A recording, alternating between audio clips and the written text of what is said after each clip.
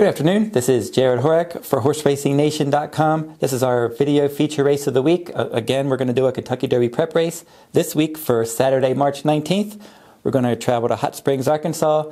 Uh, Park Race 10, the Grade 2 Rebel. This is a $900,000 race for three year olds, traveling a mile and a 16th on the main track, and an 85 Kentucky Derby points on, on the line here 50 for the win, 20 for the second, 10 for third and five for finishing fourth. We have a full 14 horse field. We have two horses, um, two entries in here.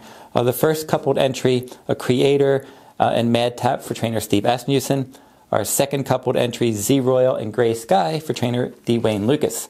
Now, your early speed horses in here, it looks like Ralis, uh, for, for trainer Doug O'Neill. He's going to show some speed. American Dubai, a Gray Sky, we mentioned that one for, for D. Wayne Lukas, and then Siding Spring. I think those horses are going to be involved in the early pace. The pace should be honest in this big full field, and maybe one of the stalkers that can stay out of trouble could be the most dangerous. But the big the big late running danger in here, Suddenbreakingnews, breaking from post position 14 and he won the Grade 3 Southwest Stakes from post position 13, and he went last to first that day. That was an impressive late, late turn of foot.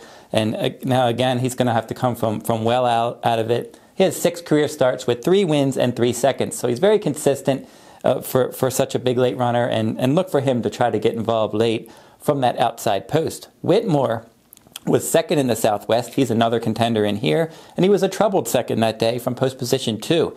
Now, this time he draws post position 12. Now, that could mean he's going to get hung out wide, or if he's able to fall into a decent tactical trip, maybe post position 12 will help him stay out of the traffic trouble that he found last time in the Southwest. Cherry Wine uh, for trainer Dale Romans. Uh, this one will break from post position 13. Uh, he has back to back blowout wins coming into this race uh, from Churchill Downs, and then he broke his maiden at Gulfstream Park. Actually, he broke his maiden at Churchill Downs, excuse me. Then he won at Gulfstream Park last time out. Now, they were going to run him in the Fountain of Youth Stakes, but he got a virus. He missed that race. He's been redirected here, and, and he'll, he'll get tested for class for sure. A Cupid for trainer Bob Baffert. Bob Baffert's had a lot of success when he, when he shipped his horses to Oaklawn Park in the past for these Kentucky Derby prep races. Last year, obviously American Pharoah, but, but other years as well. When he ships a horse to Oaklawn Park, they're usually well meant. Well, this one's going to break from post position three.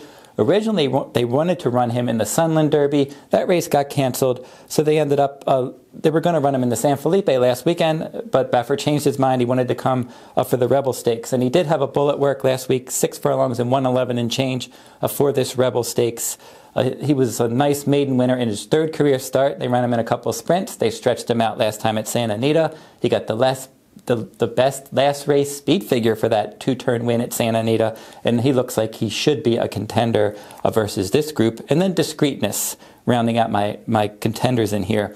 Seven career starts with four wins, uh, no seconds and no thirds. He was eight wide from post 14 in the Southwest. He ended up finishing seventh in that 14 horse field, beaten a total of 10 lengths. This time from post position four, I think he's going to be able to, to have a much better trip. He was first in the Smarty Jones uh, prior to the Southwest, and then he won the Springboard Mile before that, beating Suddenbreakingnews.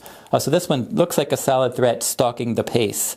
And he's going to be my top choice. I'm going with discreetness. I love that post position switch. He'll be sitting that right trip a few lengths off the lead, and hopefully he can stalk and pounce, get the jump on horses like Suddenbreakingnews. I do like Suddenbreakingnews and Whitmore. Uh, as well for underneath, but Cupid's my other wing contender for Bob Baffert. I think he's got a lot of talent, good pedigree. He's getting good at the right time, and I think Baffert made the right, move of bringing him to this spot. Well drawn as well. This is how we're going to play this one. We're going to play, make a for our forty dollar wagers. Uh, sixteen dollars. We're going to make a win wager uh, on discreetness. We're going to play a six dollar exacta box with Cupid and discreetness. and then we're going to play a three dollar exacta. We're going to put Cupid and discreetness on top of Whitmore and Suddenbreakingnews. Of those total wagers, $16 for the win. That $6 exacta box is 12 and that $3 exacta with my two top choices over uh, the two others, that one's 12. Total of $40. Now you can go over to horseracingnation.wordpress.com to see my exceptional 11 Kentucky Derby contenders. Still sitting at number one and number two, Mohaymen and More Spirit. Now, More Spirit lost last week, but he ran a good race. He's going to maintain that number two ranking. Now, there will be a bit of a shakeup. Brody's Cause was my number three horse, and he didn't run well. He didn't pick up his feet in that Tampa Bay Derby, won by Destin. uh, and, and Outwork was second, both trained by Todd Pletcher. Uh, but back to the San Felipe and more spirit. That was a good effort coming from off the pace. Danzing Candy wired the field. Good speed figure that day. He got a 100 Beyer speed figure.